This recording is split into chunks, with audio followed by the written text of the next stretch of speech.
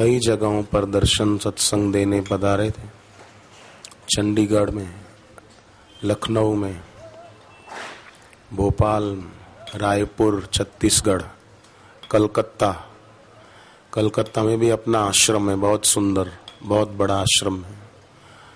वहाँ भी कलकत्ता में इतनी भीड़ थी कि देखते ही बनती थी, आश्रम में कहीं जगह नहीं थी। बहुत भीड़ थी कलकत्ता में भी। उधर के साधक सब गुवाहाटी तक के साधक कलकत्ता आए थे, गुरु पूनम के निमित्त दर्शन करने गुरुदेव के। कलकत्ता से भी गुवाहाटी बहुत दूर है, आसाम गुवाहाटी। उधर के साधक दूर दूर से दार्जिलिंग से कहाँ कहाँ से आए थे। कलकत्ता गुरुदेव दर्शन देकर फिर वहाँ से उड़ीसा, भुवनेश्वर आए। वहाँ उड़ीसा के साधकों ने खूब खूब लाभ लिया। उड़ीसा के तरफ़ कई साधक बाहर से गरीब हैं, पर दिल के बड़े अमीर हैं उड़ीसा के। श्रद्धा और भक्ति के धन से संपन्न है उड़ीसा के साधक। बहुत भक्ति भाव वाले उड़ीसा के भक्त। फिर वहाँ के श्रद्धालुओं को दर्शन दे के बापू जी झारखंड, जमशेदपुर, टाटा नगर। वहाँ भी गुरु पूनम के निमित्त साधक इतने सारे आए कि बात मत पूछो। बहुत भीड़ थी। वहाँ एक ही सत्र था, पर बापू जी ने उनकी भावना देखकर शाम का सत्संग भी दिया था। फिर जमशेदपुर से सत्संग पूरा करके गुरुदेव हैदराबाद आए, आंध्र प्रदेश। वहाँ भी गजब की भीड़ थी। आंध्र प्रदेश के साधक पूरे विशाखापट्टनम, विजयवाड़ा, और न जाने कहाँ कहाँ से आए थे। वहाँ सत्संग पूरा करके महाराष्ट्र आए गुरुदेव, पूना आश्रम में। संत ज्ञानेश्वर हो गए महाराष्ट्र में, बड़े उच्च कोटि के संत। और ज्ञानेश्वर जी की गुरु भक्ति तो बड़ी वंदनीय है। वहाँ भी साधकों की बहुत बहुत भीड़ थी पूना में। वहाँ से गुरुदेव फिर मुंबई आश्रम, रायता, मुंबई शहर से थोड़ा हटके, मुंबई में होते हुए भी लगे नहीं कि मुंबई माया नगरी में बैठे हैं। ऐसा सुंदर आश्रम एकांत में है। वहाँ भी भक्तों की, साधकों की बहुत भीड़ थी। वहाँ से फिर गुरुदेव कल रात को दिल्ली पधारे। और आज यहाँ थोड़ी देर के बाद हमको भी गुरुदेव के दर्शन और आशीर्वचन का लाभ मिलेगा।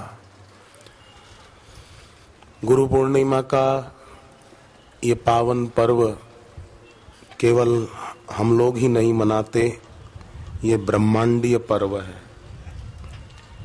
गुरु पूर्णिमा का पर्व तो देवलोक भी देवलोक में अपने गुरु बृहस्पति जी के पूजन द्वारा उसको मनाते हैं। गुरु पूर्णिमा का ये पावन पर्व बड़ा कल्याणकारी पर्व है। गुरु पूर्णिमा वो हमें गुरुता जीवन में लाने की प्रेरणा देने वाला बड़ा ही हितकारी पर्व है। गुरु पूर्णिमा का पावन पर्व वो हम सब साधकों को साधन निधि से संपन्न होने की प्रेरणा देता है। साधन निधि जिस साधक के पास है, उसके पास बाहर से भले रुपया ना हो, मकान खुद का ना हो, गाड़ी ना हो, बैंक बैलेंस ना हो, कुछ ना हो और साधन निधि है तो उसके पास सब कुछ है। साधन निधि नहीं।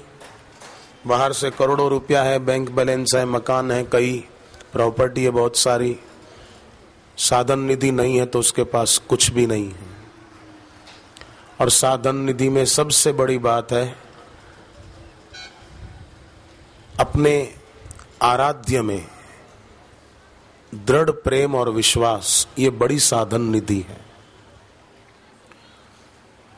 आप देखो, सतयुग में भक्त हुए प्रहलाद, उनका कितना अपने आराध्य में विश्वास था, कितना था।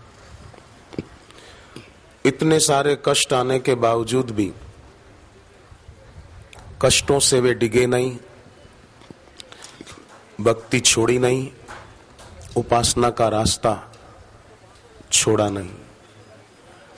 आजकल कई लोगों का विश्वास तभी तक होता है जब तक उनके काम होते रहें, जब तक उनकी मनोकामना पूरी होती रहे। तो मनोकामना पूरी होना ये बड़ी बात नहीं है। मन से पार जाना बड़ी बात है। मनोकामना पूर्ति का ही सुख लेते रहे तो कामनाएँ तो उत्पन्न होती रहती है। मेरा ये काम हो जाए, मेरा वो काम हो जाए अरे काम पूरे करते करते ज़िंदगी पूरी हो जाएगी। ये क्यों नहीं सोचते लोग? मेरा ये मनोरथ है, मेरी ये मनोकामना है। जितना लोग समस्या का, पति का, पत्नी का, बेटे का, दोस्त का चिंतन करते हैं, उसकी अपेक्षा अगर अचिंत होकर बैठे तो कितना अच्छा होगा। एक दिन तो सबका चिंतन छोड़ना ही पड़ेगा ना, कहाँ जाएँगे? जब एक दिन छोड़ना ही पड़ेगा तो अभी से क्यों नहीं? ये विचारणीय प्रश्न है। एक दिन तो सबका चिंतन छोड़ना पड़ेगा ना, कहाँ जाएँगे? इससे कोई बच नहीं सकता है। तो अभी से क्यों नहीं? थोड़ी देर रोज अचिंत होकर के बैठे।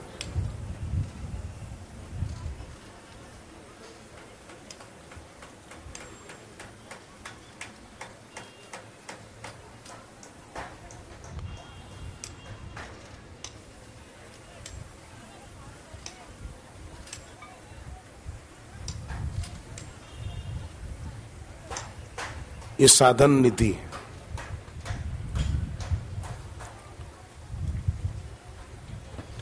इससे जो संपन्न है, वही वास्तव में संपदावान है। बाकी सब दरिद्र है। धनवंता नहीं कोई, कबीर जी के शब्दों में भी। तुलसीदास जी ने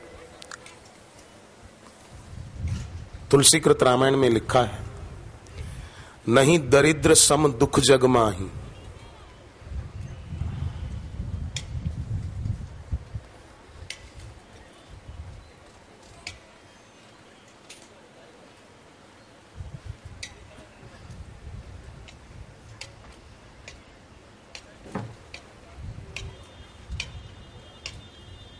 दरिद्रता के समान कोई दुख नहीं है।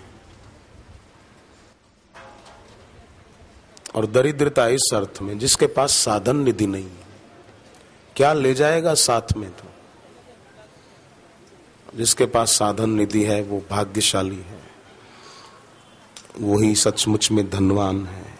और साधन निधि में पहली बात, अपने आराध्य में अटूट विश्वास, प्रेम विश्वास किसी ज़रूरत से रखेंगे तो वो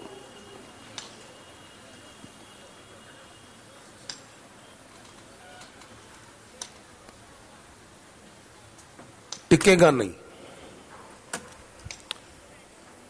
कि मेरा काम हो जाए, मेरा विश्वास है, मेरा ये काम हो जाएगा, मेरा विश्वास है, मेरा ये काम हो जाएगा। आराध्य में विश्वास करें तो संबंध जोड़ने हैं, तू मेरा उनसे संबंध जुड़ा रहे बस। मैं आँख बंद करूँ तो वही नज़र आए। संसार के दुख तो मेरा उनमें विश्वास बढ़ाने की प्रेरणा देते हैं, कि मेरे सच्चे साथी तो वही हैं। बाकी स्वार्थ मीत सकल जग माही, स्वप्ने प्रभु पर मारत नाही। तो अनेक कष्ट आने पर भी प्रहलाद जी की तीन चीज़ें कम नहीं हुई, बदली नहीं। एक तो उनका चिंतन नहीं बदला। लोगों का चिंतन बदल जाता है कष्ट आने पर।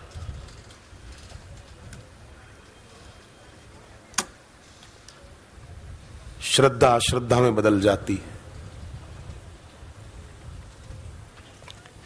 बाहर से भले ना बोले, पर अंदर बहुत कुछ बोलते पंडित राम किंकर जी उपाध्याय बड़े उच्च कोटि के महापुरुष हुए, रामायण पर बड़े सुंदर प्रवचन करते थे। बड़े वंदनीय संत थे। वो एक बार वृंदावन गए किसी संत से मिलने के लिए।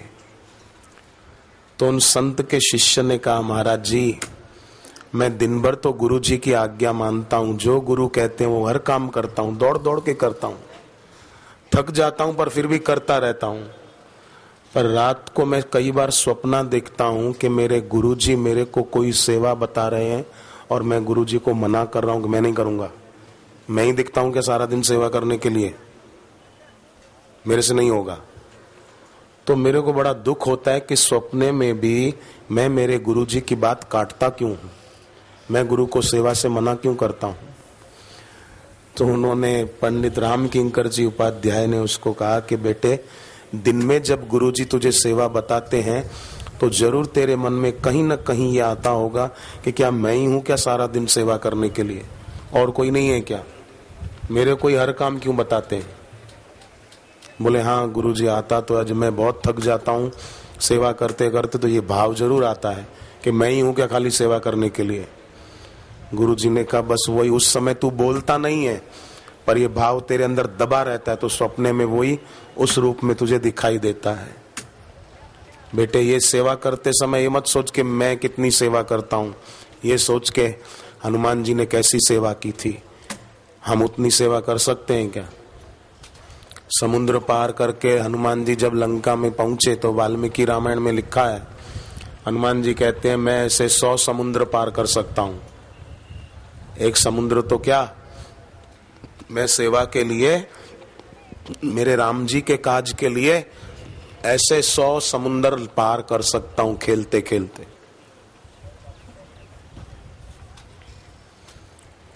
आजकल तो हम लोग कैसे सेवक हैं कि दस घंटे ट्रेन में बैठना पड़े तो बोले, हा हा हा हा हा, बहुत थक गए। दस घंटे, पाँच घंटे बस में बैठना पड़े तो अरे अरे अरे, दो दिन मेरे को आराम करना पड़ेगा, दवाई खानी पड़ेगी। हनुमान जी कहते मैं सौ समुद्र पार कर सकता हूँ। ये तो एक ही है।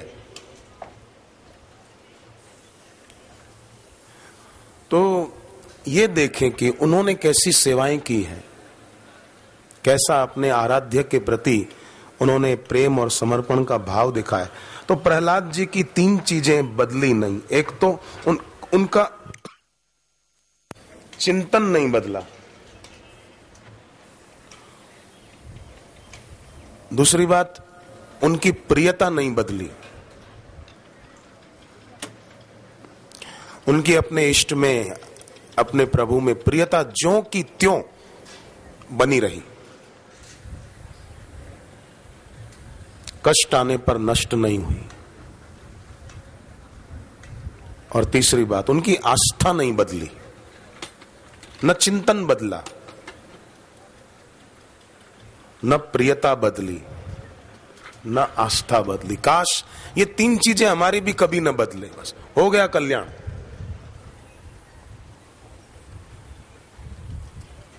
मुक्ति तो पीछे पीछे आएगी, उसकी उसकी इच्छा करनी ही नहीं है।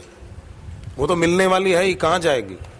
बापू जैसे गुरु मिल गए तो वो तो मुक्ति तो मिलेगी। उसकी इच्छा न करे। ये तीन न बदले हमारे भी बस। हमारा चिंतन न बदले। हमारी सोच नकारात्मक न हो जाए। हमारी प्रियता न बदले, हमारी आस्था न बदले। देखो, विश्वास, प्रेम,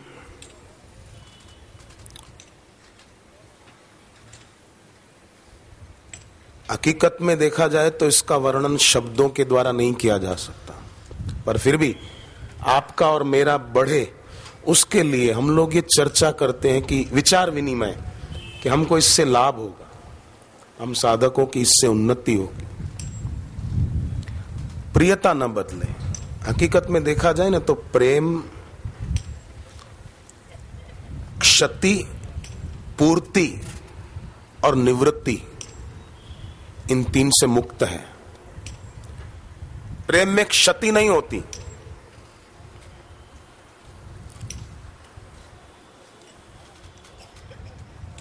मीरा का प्रेम देखो। क्षति भोगों में होती है। इंद्रियों की शक्ति में होती है। प्रेम में नहीं होती।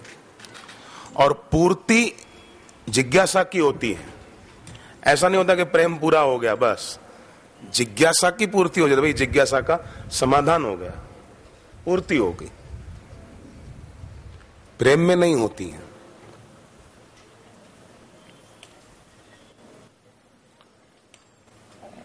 अम्बरीश राजा को देखो। खुद राजा होते हुए भी मंदिर की सफ़ाई खुद करते थे। ऐसा नहीं कि नौकर साफ़ करके रखे और खुद आसन बिछा के बैठ जाए बस। खुद मंदिर की सफ़ाई करते थे। वहाँ झाड़ू पोछा खुद लगाते थे कि ये मेरे आराध्य का स्थान है। अपने घर में भी एक स्थान ऐसा रखो। उसको रोज पूजा, पाठ, आरती के द्वारा उस स्थान को जागृत रखो, ताकि वहाँ आप बैठो और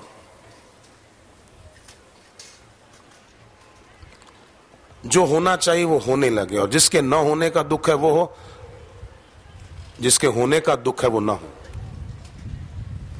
तो प्रेम में क्षति नहीं होती, पूर्ति नहीं होती, और प्रेम की निवृत्ति नहीं होती, निवृत्ति कामनाओं की होती है।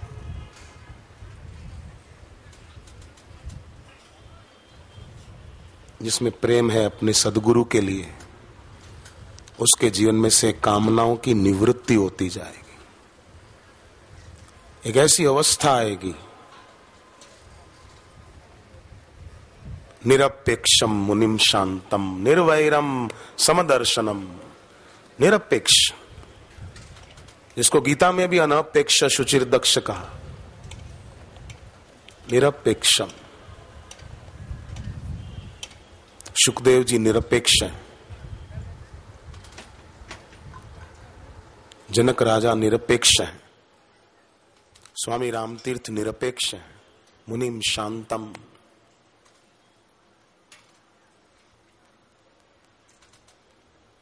निरपेक्ष तो राष्ट्रपति भी उनके चरणों में, स्वामी रामतीर्थ के चरणों में झुकते निरपेक्ष महापुरुष के दर्शन और निरपेक्ष महापुरुष के सुमिरण से हम भी अपेक्षा रहित हो सकते हैं। वीतराग विषयम व चित्तम। हम वीतराग न हो पाए तो वीतराग सदगुरु के चिंतन और सुमरण से हम वीतराग हो पाएँगे। क्योंकि जिसकी याद होगी ना याद आएगी या यो कहो कि याद रहेगी, उसका चिंतन होगा, उसकी चर्चा होगी।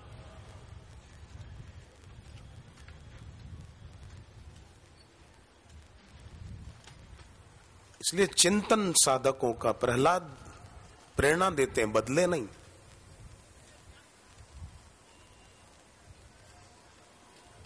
इसी में जीवन की सार्थकता है। देखो, तीन प्रकार के लोगों को संसार का चिंतन नहीं होता है। बाकी के लोगों का होता है। तीन, एक वे, जिसने श्रद्धा, आस्था और विश्वास पूर्वक ईश्वर को, गुरु को अपना मान लिया कि एक, वो ही मेरे अपने हैं, बस। और संसार में मेरा कोई नहीं है। और दिखता है मेरा ठीक व्यवहार निभाने के लिए, अपना दायित्व पूरा करने के लिए। कह दो पति, पत्नी, भाई, बहन, पर भीतर से मान ले के एक वही मेरे अपने हैं बस। बाकी सब तो एक दिन छूट जाएँगे। मैं उन्हीं मेरे आराध्य के नाते, मेरे सदगुरु के नाते, मेरे इष्ट के नाते। मैं इनको अपना मानूं और इनकी भी उन्नति हो, मेरे बेटे की, पत्नी की, भाई की, बहन की, और मेरी भी उन्नति हो। तो एक उनको संसार का चिंतन नहीं होता जिसने आस्था पूर्वक विश्वास पूर्वक श्रद्धा पूर्वक अपने सदगुरु को ही अपना मान लिया बस। भीतर से बात स्वीकार कर ली। और अभी भी हम ये स्वीकार कर लेना कि हाँ ये बात सही है बस। ये बीज बो दो आज नहीं तो कल उगेगा। खेतों में डाले हुए बीज उगते हैं, जो नश्वर हैं तो ये तो ये तो शाश्वत है। ये क्यों नहीं उगेगा? ये अपना काम क्यों नहीं करेगा?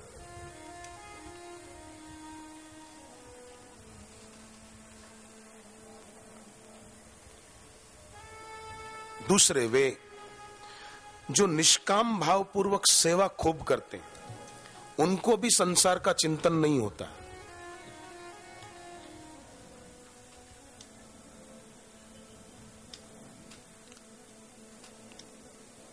क्योंकि सेवा में वो इतने तल्लीन हो जाते हैं और फिर भाव निष्काम है। इतने तल्लीन होते हैं कि उन्हें और कुछ चिंतन नहीं करता। मैं देखता हूँ कई सेवादारी एक, एक पार्किंग विभाग के सेवादारियों को ही लो। आप सत्संगों में जो दिल्ली के साधक हैं पार्किंग विभाग में सेवा करते हैं। मेरे को तो उनके पैर छूने की इच्छा होती है। मुझे मौका मिले तो मैं उनके पैर छू लूँगा। उनको प्रणाम करूँ जो पार्किंग में सेवा करते धूप में खड़े रहते हैं।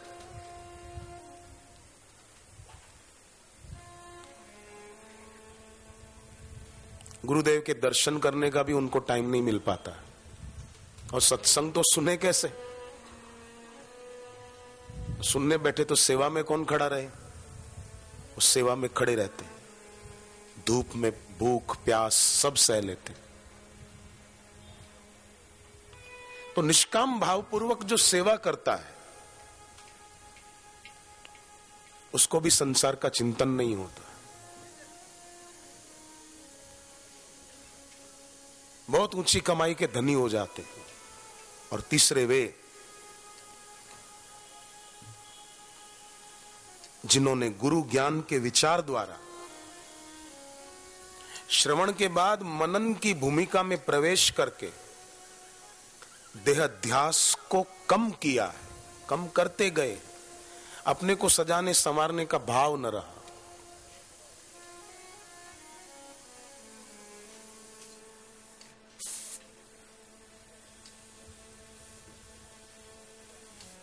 इन तीन को संसार का चिंतन नहीं होता। कितनी ऊँची स्थिति होगी। कितना लाभ, इसके समान कोई लाभ नहीं है। यही तो सत्संग है।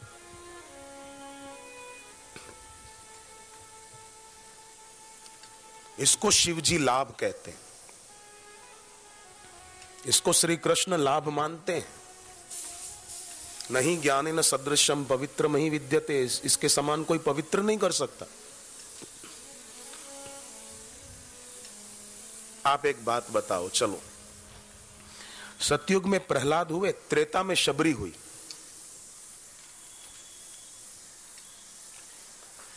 जिसका संसार का चिंतन छूट गया। अब आप ये बताओ एक बात। कि शबरी ने कौन सी आँख बंद करके समाधि लगाई थी? ये सवाल है। शबरी ने कहा त्रिबंध प्राणायाम सीखे थे या योग की क्रियाएँ सीखी थी या आसन सीखे थे?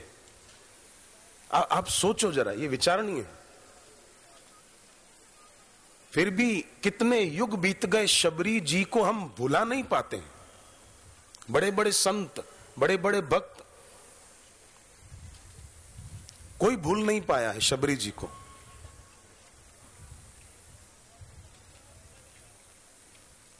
पर क्या शबरी की गुरु भक्ति थी? गुरु ने कह दिया कि राम आएँगे, तुझे राम मिलेंगे, बस। तो शबरी जी रास्ता साफ़ करती थी कि यहाँ से मेरे राम आएँगे, उनको पैर में कांटे न लगे। यहाँ से मेरे राम के प्यारे साधु संत पंपा सरोवर में स्नान करने को जाते हैं, उनके पैरों में भी कांटे न लगे। और मेरे राम के प्यारे संत यज्ञ करते हैं, उनके यज्ञ के लिए समिधा में छोड़कर आऊँ। जंगल से लकड़ियाँ चुनती और ऋषि मुनि जहाँ यज्ञ करते थे, चुपके से यज्ञ कुंड के पास लकड़ियाँ छोड़कर चली जाती थी। निष्काम भाव पूर्वक सेवा की है। शबरी को संसार का चिंतन छूट गया है। और ईश्वर का चिंतन नहीं छूटा। गुरु का सुमिरन नहीं छूटा है। यहाँ तक कि भगवान राम आए हैं।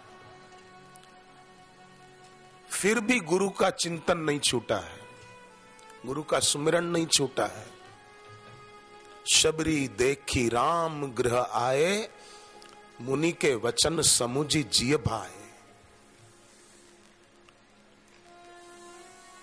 केवल निष्काम भाव पूर्वक सेवा करने से त्रेता युग में हुई शबरी जी आज तक वंदनीय बनी हुई है।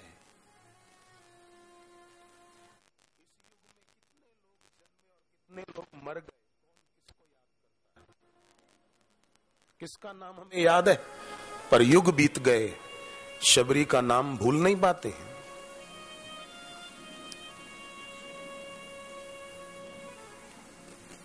क्या प्रेम है, क्या भक्ति है?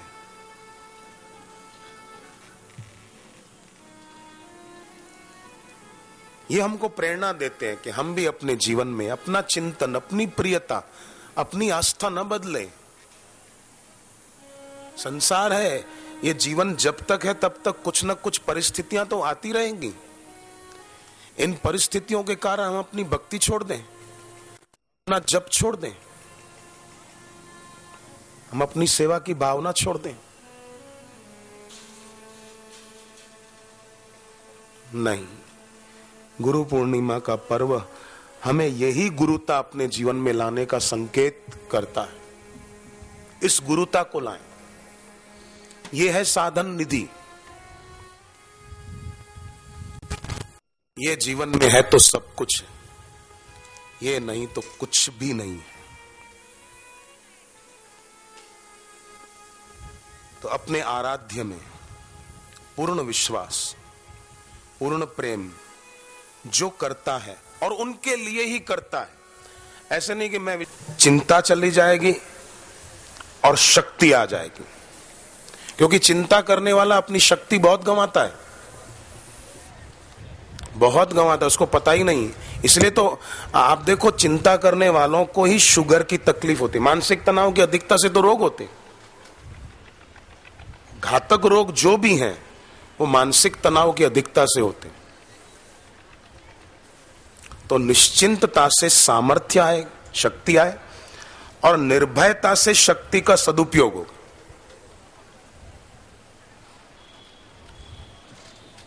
बल का दुरुपयोग नहीं। और प्रियता से, प्रेम से आनंद बना रहेगा। व्यक्ति परेशान कब होता है? जब उसकी प्रियता और वस्तुओं में है और वो वस्तुएँ न मिली, दुखी हो गया। प्रियता किसी व्यक्ति में है, आसक्ति है कि इससे मेरी दोस्ती हो, इससे मेरी बात हो। व्यक्ति में प्रियता है, वो नहीं मिला, बात नहीं हुई। दुखी हो गए। जैसे आजकल के कई छोरे छोरियाँ आत्महत्या कर लेते कि मेरी उससे शादी नहीं हुई, मैं जहर खाकर मर रही हूँ। हरियाणा में कहीं मैंने सुना, एक लड़की की शादी उसके मन चाहे लड़के से नहीं हुई, लड़की मर गई। और उधर लड़के ने भी जहर खा लिया, मर गए। क्या ईश्वर के द्वारा मिला हुआ जीवन और मूर्खों ने बस इससे मेरी शादी नहीं हुई, मैं आत्महत्या कर रहा हूँ। कितनी गिरी हुई मानसिकता है। काश उनको भी बापूजी का सत्संग मिल पाता। काश उन्हें भी दीक्षा मिली होती और वो जब तब सुमिरन कर पाते। तो प्रियता ऐसे वस्तु व्यक्ति में नहीं होती।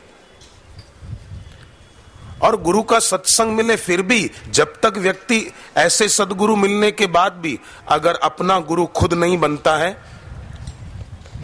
तो फिर श्री कृष्ण जैसी हस्ती, कर्ण जैसे व्यक्ति को संकेत करती है कि भलाई किसमें है?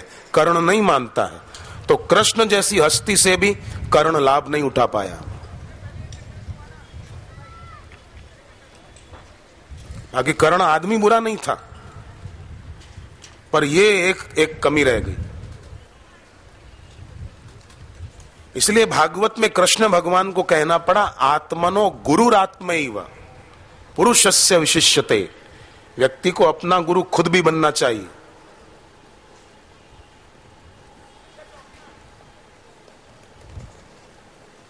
तभी उसकी प्रियता वस्तु और व्यक्ति में न रहकर अपने आराध्य में भाई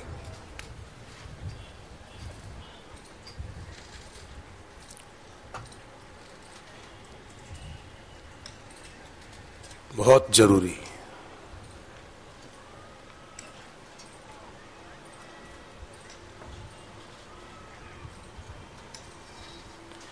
साधक कौन है? जो असंगता को साधे, वो साधक है। साधक में साध शब्द, साध, असंगता को साध, वो साधक है।